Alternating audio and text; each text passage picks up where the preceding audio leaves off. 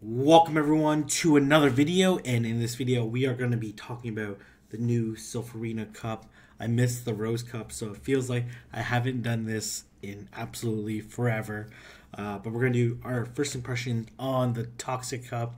For those that are not familiar with the Silph Arena, check out, check out sylph.gg. It's a third party competitive format, super fun theme cup with certain restrictions played in the Great League super fun. If you're into Go Battle League and have not tried out Self Silph Arena, you should definitely check it out and um, stick, in, stick around in this video. I'll walk you through it. Um, so this is on sylph.gg. Uh, the, we're gonna go down here. Teams of six, um, show six, all that's good stuff. Played in the Great League up to 1500 CP. Uh, toxic type Pokemon, so bug, poison, normal, ground, and grass. Um, dual types are allowed. Uh, so, for example, like uh, Heracross is bug fighting, uh, so it would be allowed because it's bug typing. And then there's there's species bands of Tropius, uh, Noctowl, Vigoroth, and uh, dual types with water ground. So basically known as the Mud Boys. So Swampert, uh, Whiscash, Quagsire, um, Marshtomp, etc. And then here's a specific list of Pokemon that are added uh, that are available. So some of them obviously can't be in Great League, like Groudon, for example, but uh, and then uh, Regigigas too as well. But if if ever it does become the case, then uh, then it would be allowed. But let's go ahead and go to pvpoke.com. Everyone should be familiar with this website. If you're not, definitely um, uh, check them out. Uh, so what we're going to be doing is we're going to be taking a look at this list. Uh, so we're going to go to rankings, and then we're going to click on Toxic Cup, and this will show the rankings for them and we see that some of the top Pokemon include Pokemon like Scizor uh, with Bullet Punch, X Scissor, and Iron Head. Pretty interesting. Uh, I want to take a look at that quickly. See, obviously, it's going to be really scared of fire. So any of the uh, Pokemon with fire fast moves are going to do a lot of damage, like Camerupt, uh, Hippowdon, uh, Porygon with Steel, Steel Hidden Fire, um, Steelix would actually do quite well on it just because it resists all the moves that uh, the Scizor is recommended in this move set in this in this um, particular set. Uh, Wormadam Trash would uh, would also body it because um, it's just a lot tankier. Also, um, it resists all the moves um, and probably just has a better move set. It's probably the the main reason behind it. Uh, Qwilfish uh, and a bunch of other ones. Uh, and then a bunch of neutral matchups that we see. So I see like Munchlax, I think, which which should be pretty decent uh, in this cup, considering um, there's only going to be a few fighters, a few critical fighters like Heracross and uh.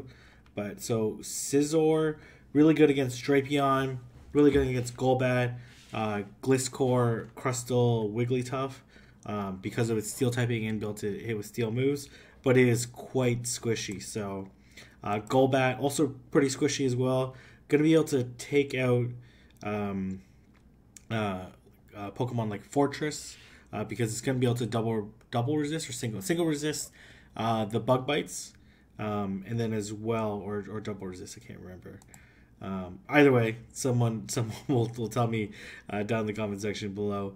Um, then interesting uh, and able to do a lot of damage. Even though Wing Attack is neutral, uh, Poison Fang is double resisted. The Shadow Balls uh, do quite a bit of damage. Let's see if it can still win straight Shadow Ball. Uh, looks like that's going to be the case, so it can win out in all shield scenarios. So absolutely walls, um, Forretress, and basically you can farm up to quite a bit of energy. Uh, this includes Mirror Shot. The, if it was Rock Tomb, obviously uh, it could win out in the 0 2 shield scenario, or uh, two zero shield scenario for for Forretress. So Forretress looks like it's going to be uh, quite handy as well. Forretress is ranked at number three. Uh, as the metagame starts developing, uh, we're going to see what's going to come out on top. Gligar, uh, Gliscor uh, from Rose Cup are also available. Steelix, always really reliable, really tanky, going to be able to uh, take a lot of damage. Uh, Crustle's pretty interesting uh, with Fury Cutter, X Scissor, Rock Slide. Um, wonder why not SmackDown. Um, what does Fury Cutter allow you to hit more Rock Slides? But Let's see even this matchup against uh, Forretress. Actually, pretty close. And actually loses in the two shield. I'm guessing it wins in uh, the one and the two. I know it wins though. Okay, looks like with SmackDown, it's not that great. Uh, interesting. Um, Pidgeot with uh, with Wing Attack, uh, especially since Noctowl's ban. Uh, Pidgeot gonna be able to beat out uh, Pokemon like Gliscor and Gligar, um, Golbat, Forretress, and probably even uh, Scizor. So, yep, gonna be able to beat those ones. I'm sure. Confident it could be a Scizor. Yeah. Uh, no, it actually loses to Scizor. Interesting. Interesting. Really. Just because that Iron Head damage, and plus it has such terrible moves. Man, these moves are awful. Um, maybe if it didn't have Hurricane's a pretty good move, but takes quite a bit of energy. Maybe Brave Bird would be better. No, doesn't allow it to get to Brave Bird. Um, it has it gets to the aerial ace, but then loses the CMP tie. That makes sense. And it doesn't have any better moves. Okay, but it's a very close, close matchup, and also it requires uh, Scizor to land uh, the X Scissor bait, while um, while Pidgeot can go straight, uh, straight aerial, uh, straight aerial ace um, to win that match. So if, if uh, it's not necessarily switching, but still interesting matchup there. Loses hard uh, to to the rock types. Actually loses to Golbat, which I find interesting. Straight, man, Pidgeot, you man.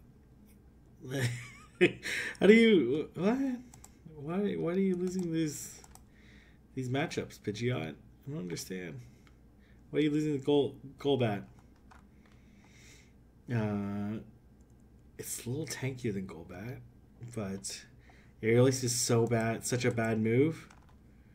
Wow, okay, it gets absolutely demolished. And just straight spams these Poison Fangs. Um, really?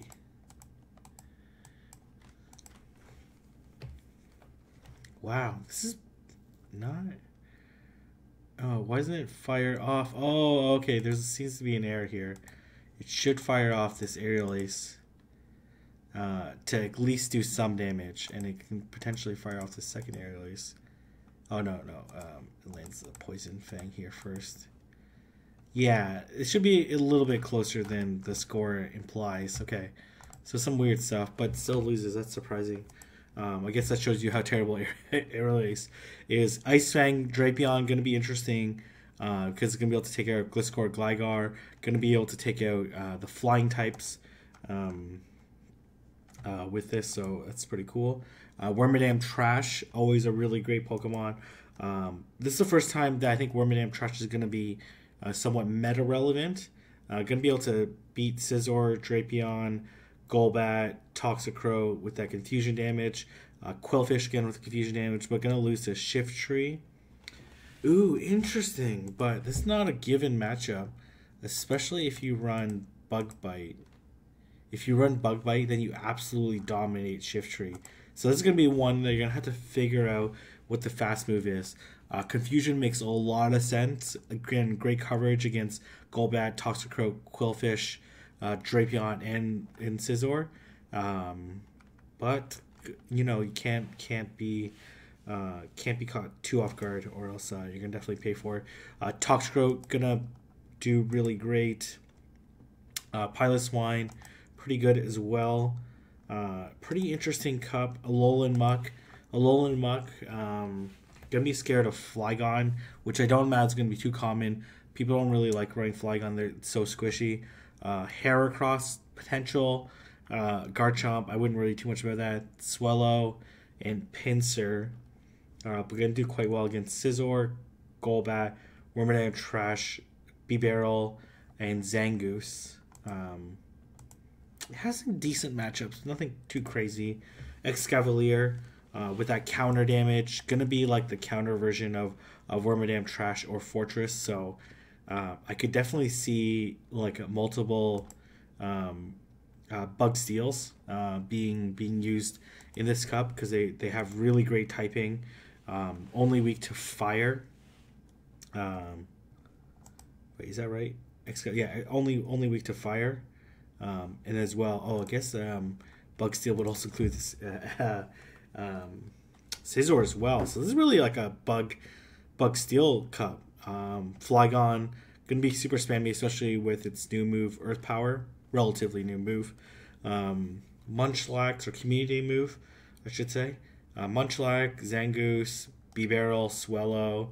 Um, gonna be pretty interesting and diverse. I don't know necessarily what the best metagame is at this point in time for for the Toxic Cup, but let me know what you think are some good uh, lines of three or teams of six. Uh, for this cup, I'm going to do some analysis. I'm going to feature a few people that are going to be able to help you uh, formulate your team uh, for the Toxic Cup. Uh, and if you guys want to see more Toxic Cup videos, let me know down in the comment section below. And I will see everyone in the next video.